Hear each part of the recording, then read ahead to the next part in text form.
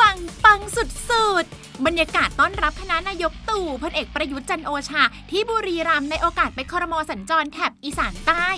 ไฮไลท์อยู่ที่โปรแกรมเยือนสนามฟุตบอลสโมสรบุรีรัมย์ยูไนเต็ดและสนามช้างอินเตอร์เนชั่นแนลเซอร์กิต ที่งานนี้เจ้าถิ่นอย่างเสี่ยเป็ดเนวินชิดชอบ จัดแบบเต็ม max ทั้งระดมชาวเซาะกราว city ไม่ต่ำกว่า 30,000 ชีวิตมาต้อนรับ พร้อมกับเซตฉากถ่ายภาพ จัด activity แบบ organizer มืออาชีพยังต้องอาย ขับภาพให้ลุงตู่จนราศีซุปตาร์วิบวับ โดยเฉพาะคิวที่จับลุงตู่สวมชุด safety แข่งรถมอเตอร์ไซค์อาชีพ ลงควบ big bike จอมสนามที่จะเป็นสถานที่จัดแข่งขัน MotoGP ในอีกไม่นาน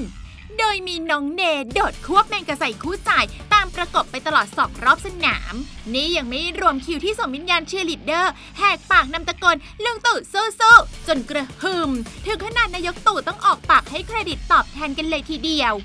มรรคผลงบประมาณจากคอรมอสัญจร จะผลิดอกออกผลยังไงไม่รู้ แต่สำหรับเสี่ยเน ถือว่าเข้าเป้าปังๆ ในการแสดงพลังพรรคสีน้ำเงิน โชว์ศักยภาพที่เห็นว่า พื้นที่บุรีรัมย์พ่วงไปถึงเมืองคู่แฝดอย่างสุรินทร์ที่มีสสรวมกันร่วม 20 ที่นั่ง อยู่ใน control ของเสี่ยเนเจ้าของพรรคภูมิใจไทยตัวจริงเสียงจริง และก็น่าสังเกตว่าแทบไม่มีบทบาทให้น้อง love อย่างเสี่ยหนู อนุทินชาญวีรกูลหัวหน้าพรรคภูมิใจไทยออกมาขโมยซีนบ้างแหละ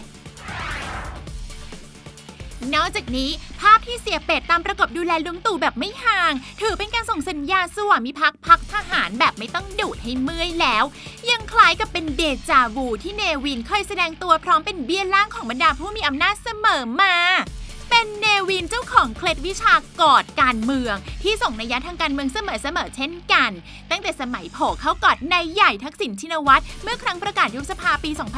2548 แต่ไม่กี่ปีต่อมาก็เปล่งวลีอมตะ มันจบแล้วครับนายตอกหน้าทักษิณจนได้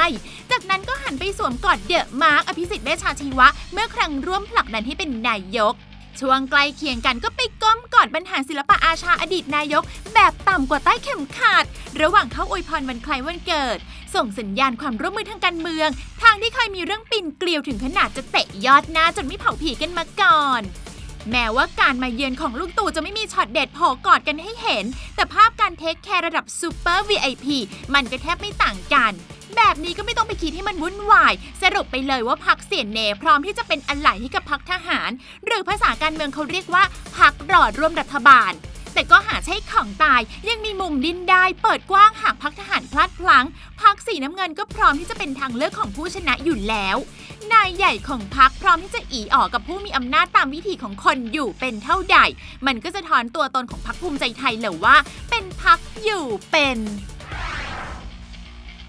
ายหน้าหายตาไปนาน เดอะต่อพันตำรวจโทสันทนะประยุนรัตน์อดีตรองผู้กำกับสันติบาลคนดัง กลับมายึดพื้นที่ข่าวยกแผงอีกครั้ง กับกรณีขัดขวางเจ้าหน้าที่ตำรวจขณะปฏิบัติหน้าที่เข้าตรวจค้นตลาดใหม่ดอนเมือง ที่ตัวเองประกาศเป็นประธานกรรมการที่ปรึกษาอยู่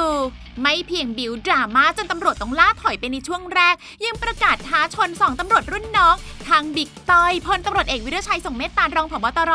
และบิ๊กโจ๊กพลตำรวจตรีสุรเชษฐ์หักพานรองผู้บัญชาการตำรวจท่องเที่ยวเรื่องบานปลายใหญ่โต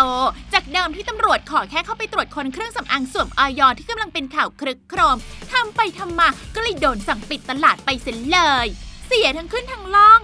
ส่วนตัวเดือดต่อก็โดนข้อหาเบาๆดูหมิ่นเจ้าพนักงานไปเชยชม เดือดร้อนถึงเฮียเสงสุชาติโชวิวัฒนาเจ้าของตลาด ที่โดนเรียกไปสอบปากคำฐานมีพฤติกรรมมาเฟียเก็บค่าคุ้มครองสำร้ายผู้ค้าเครื่องสำอางผิดกฎหมายในตลาด ก็โดนยึดของกลางไปร่วมร้อยล้านบาท ส่วนตลาดที่เป็นน้ำเลี้ยงของเดือดต่อ ก็โดนทั้งต่อเติมผิดกฎหมายสอมีความผิดพรบฟอกเงินอีกด้วย แววมาว่ากรมธนารักษ์เจ้าของที่ดินราชพัสดุตรงนั้น ยังเตรียมนำคำสั่งปิดตลาดพิจารณาเพิกถอนสัญญาเช่าอีกตั้งหาก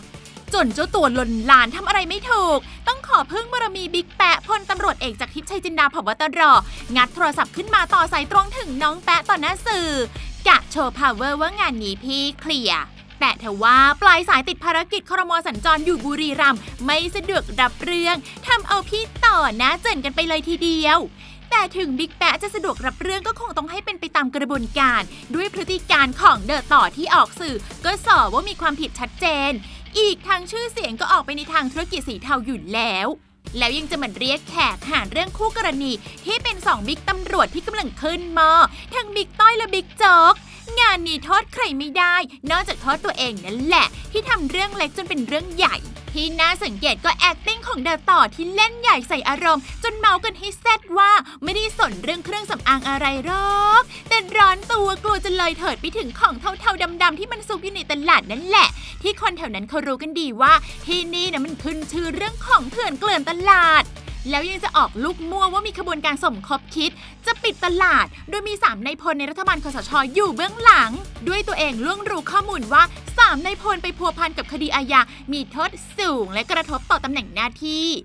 ก็ว่ากันไป ถ้าเป็นเรื่องจริงก็แฉกันให้รู้เช่นเห็นชาติกันไปเลย ไม่ใช่มาทำเป็นบลัฟ หวังให้ต่อรองเคลียร์กันได้